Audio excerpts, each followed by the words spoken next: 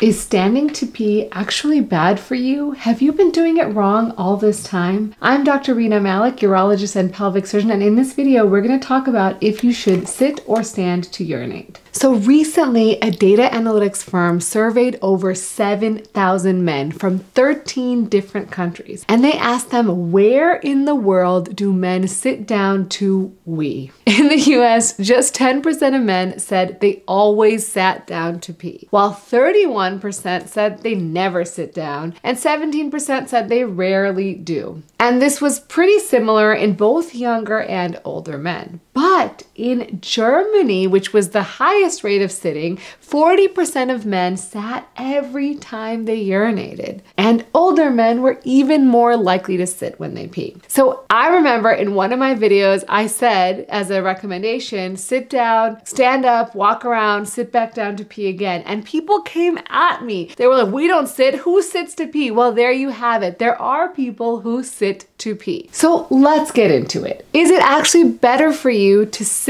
or stand when you're urinating? So in order to answer this question, you wanna know what exactly happens when you sit. So we know that generally speaking, your pelvic floor is more relaxed when you're sitting down. And when you're standing, you often recruit some of that pelvic floor musculature just for postural reasons. So when you need to urinate, that pelvic floor actually needs to relax in order to allow urine to pass through the urethra. Oftentimes, I will see people who have what's called a high tone pelvic floor and they actually have difficulty urinating. And there's no other reason for it except for the fact their muscles are really tense. I talk about this a lot because I see it a lot. I think it's particularly underdiagnosed in men where people have stress and anxiety and they carry it in their body. For some people, they carry it in their jaw when they get TMJ and they wake up with headaches and jaw pain. But in some people, they carry it in their pelvis and they get pain when they sit, pain when they have erections, pain when they ejaculate, difficulty urinating, or sometimes urinating more frequently or more urgently. But I digress. The question here was, is sitting better? So based on that fact, sitting would be probably better in general, just based on that fact alone. But the other thing very specific for men is that after the age of 50, about half of men develop what's called BPH or benign prostatic hyperplasia. And that just means that your prostate enlarges. And many people have this problem. In fact, up to by the time they're 80, about 80% of men have this problem and it makes it more difficult to urinate because as the prostate enlarges,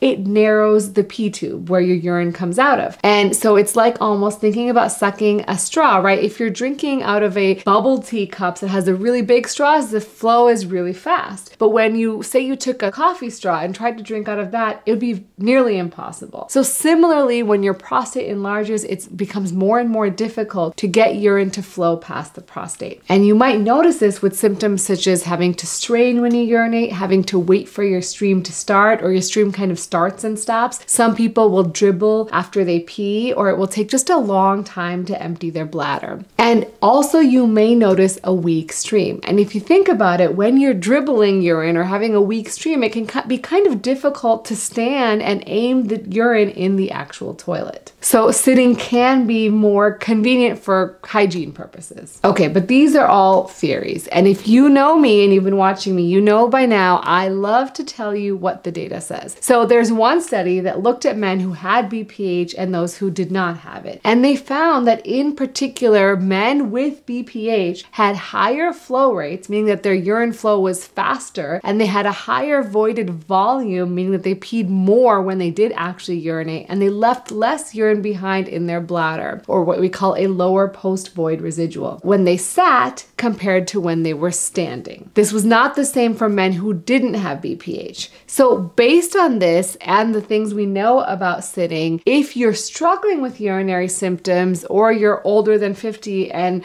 are concerned about BPH, it may be a good idea. But you may be wondering if you're not having symptoms, why do some men actually sit? So, another study surveyed nearly 200 US men, and of those, 18% preferred to sit Of those men who did sit, they were more likely to have urinary symptoms and be bothered by those symptoms. It's one thing to have the symptoms and not really let them bother you. Other people had physical limitations that made them sit, like they had recent surgery, back pain, arthritis, and then had a lower desire to stand compared to men who actually stood. Of the men who liked to stand, a lot of them reported that it was really important for them to actually pee in a standing position. Other popular reasons for sitting were to try to avoid a mess associated with standing. If they preferred to sit at nighttime and sitting feeling just generally more comfortable than standing, or trying to get a better urinary flow and reading or using the phone. I do not recommend reading or using the phone on the toilet because you'll spend too much time on the toilet and potentially put you at risk for other issues like hemorrhoids or things like that. So, what's my takeaway? If you don't have any symptoms and you prefer to urinate standing, it's probably not a problem. But at the same time, if you like to sit or if you sit because you have issues like urinary symptoms, again, totally nothing wrong with it. In fact, you might be helping yourself. If you guys enjoyed this video, please make sure to subscribe and share this channel with your friends. And if you like this video, make sure to check out my video on urinary dribbling because I think it's super useful and helpful for so many people. As always, remember to take care of yourself because you're worth it.